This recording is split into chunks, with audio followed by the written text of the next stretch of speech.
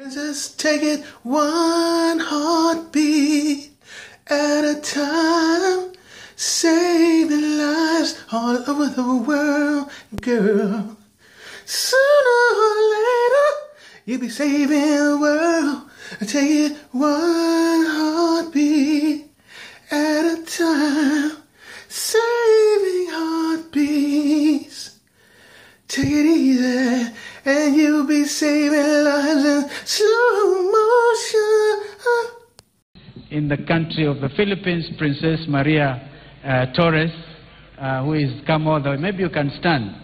Um, she came in to give us a particular word, and we are very happy that she was able to come and join us today. Fantasy is reality, Odyssey of a Dream. This is the story of a little girl with a dream. She fantasized about being a princess, woke up, suddenly she was a queen. From humble beginnings she arose, embraced her condition, and helped everyone she knows.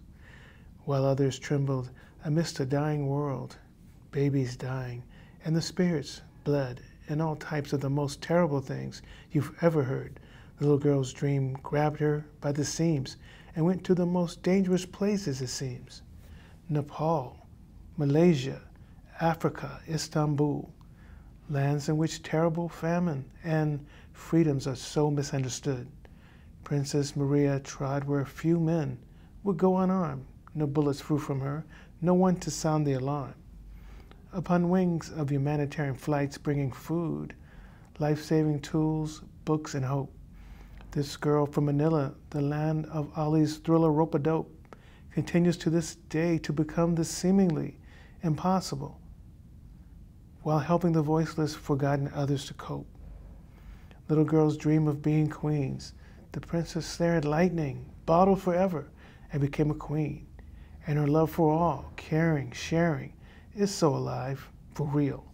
The fallen officers, disadvantaged, and dignitaries love her, caring for her best interests in her heart. It seems this little girl was already a princess, a queen, already from the start.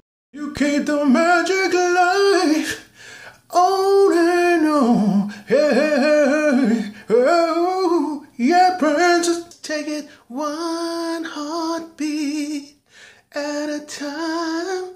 Saving lives all over the world, girl. Sooner or later, you'll be saving the world. Take it one heartbeat.